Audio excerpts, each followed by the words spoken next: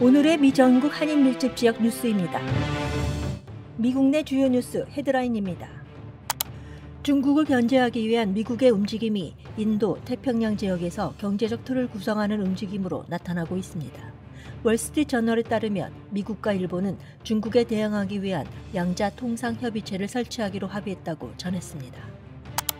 CNBC와 월스트리트저널, 뉴욕타임즈에 따르면 바이든 대통령은 연방거래위원회 FTC에 서한을 보내 급등하는 미 휘발유 가격에 대해 불법 행위가 비용을 올리고 있는지 석유 및 가스 업체의 반소비자 형태 조사를 요청했다고 밝혔습니다. 연방식품의약청 FDA는 파이자가 신종 코로나 바이러스 감염증에 대한 알약 형태의 경구용 치료제 항바이러스제 팍스로비드의 긴급 사용 승인을 신청했다고 밝혔습니다. 팍스로비드는 자체 임상시험 결과 입원과 사망 확률을 89%까지 줄이는 것으로 나타났으며 만약 FDA의 승인을 받으면 겨울철 코로나19이 재확산할 경우 보건당국의 대응에 상당한 도움을 줄 것으로 보입니다. 연방거래위원회 FTC가 최근 효과가 증명되지 않은 코로나19 예방 치료제 및 상품이 한인과 베트남인 라티노 사회에서 허위 광고와 판매가 되고 있다며 경고하고 나섰습니다.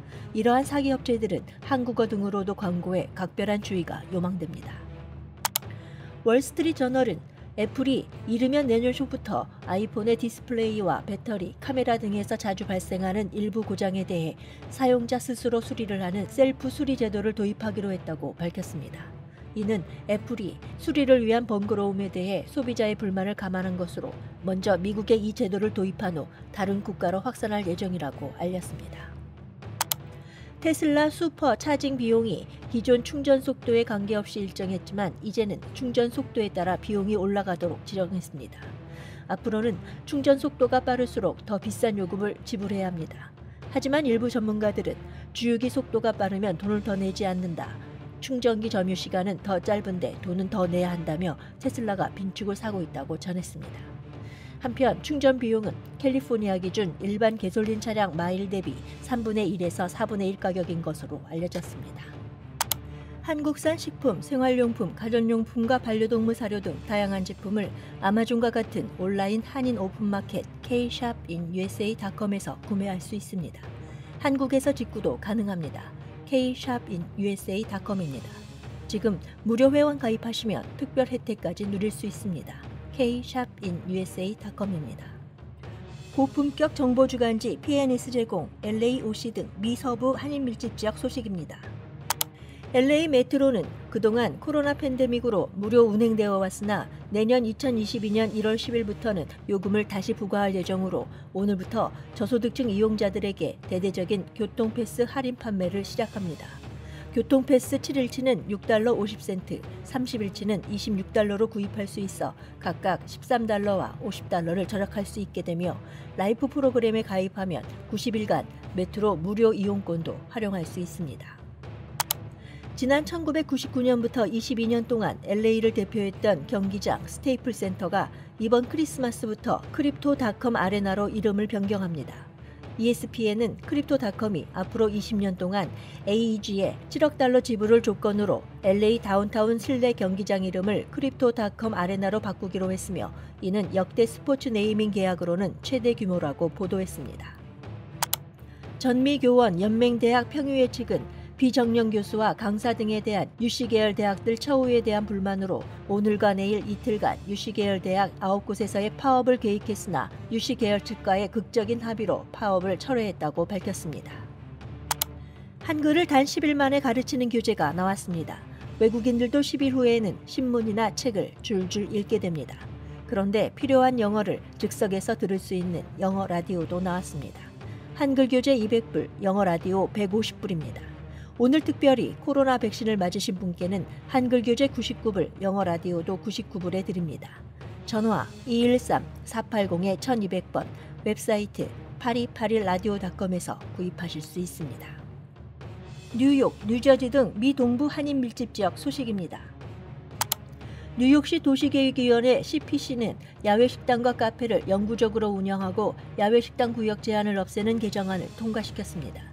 시의회까지 최종 통과하면 식당 카페들은 영구적으로 외부 식사 공간을 운영할 수 있으며 기존 야외 식당이 허용하지 않았던 지역 제한도 풀립니다. 이에 따른 주민들의 불만도 증가해 소송을 제기하는 등 논란이 일고 있습니다.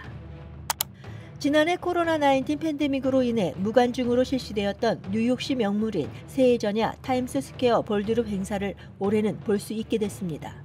행사는 무료이며 참석을 원하는 사람은 코로나19 백신 접종 증명서와 신분증을 지참해야 하며 5세 미만 유아의 경우 백신 접종을 완료한 보호자와 함께 참석하고 장애나 건강상의 이유로 백신 접종이 불가능한 사람은 72시간 내 코로나19 진단검사 PCR 음성 증명서를 제출해야 하며 마스크 착용도 요구됩니다. 뉴저지 펠리세이즈 팍 타운 정부는 내년 1월부터 야간 시간대 비거주자 차량 주차 단속 실시로 모든 펠팍 주민들은 새로운 거주자 주차 허가증을 발급받을 것을 촉구했습니다. 새로운 거주자 주차 허가증 발급 비용은 20달러이며 유효 기간은 2024년 1월 1일까지이고 발급 신청은 펠팍 타운 정부 웹사이트를 통해서만 가능합니다. 애틀란타 로렌스빌에 거주하는 한인 청년 33세 정진우 씨가 2021 National Car Rental Assistant PGA 프로 챔피언 대회에서 우승을 차지했습니다. 정 씨는 최종 합계 14언더파 274타를 기록해 2위를 기록한 브라이언 벅스토를 7타 차로 제치고 우승했습니다. 한국 방문 시 꼭 필요한 휴대전화 심카드 40불로 한국에서 무제한 데이터와 통화를 30일간 사용할 수 있습니다. kshopinUSA.com에서 확인하시기 바랍니다. 판매점 문의도 받고 있습니다. 서부 지역 전화 213-700-3366번, 중부 지역 918-500-0395번, 동부 지역 718-619-7008번으로 문의하시기 바랍니다. 샌프란시스코, 시애틀 등 이밖에 미국 내 한인 밀집 지역 소식입니다. 코네티컷주 그리니치 경찰국은 한인으로 추정되는 31살 매삭 김 씨를 청소년 마약 과다 복용 사망 사건과 관련해 마약과 약물 판매 미수 및 소지 등 4건의 혐의로 기소했다고 밝혔습니다. UC 버클리에 재학 중인 한인 22살 두류민 한국명 민두기 씨가 샌프란시스코 시정부가 아태계 차별의 역사적 과오를 공식 사과하는 결의안이 발의되도록 주도했습니다. 이에 샌프란시스코시 의회는 아시안인들에 대한 인종차별이 행해져 온 것을 인정하였고 만약 이 결의안이 채택되면 샌프란시스코시는 아시아계를 차별한 역사적 가오에 대해 사과하는 캘리포니아주 네 번째 도시가 됩니다. 미 전국 한인사회 소식 제보를 받고 있습니다. 주변에서 일어난 크고 작은 사건이나 목소리를 내고 싶을 때 이메일 news at usknnews.com이나 전화 213-986-2624번으로 제보해 주시기 바랍니다.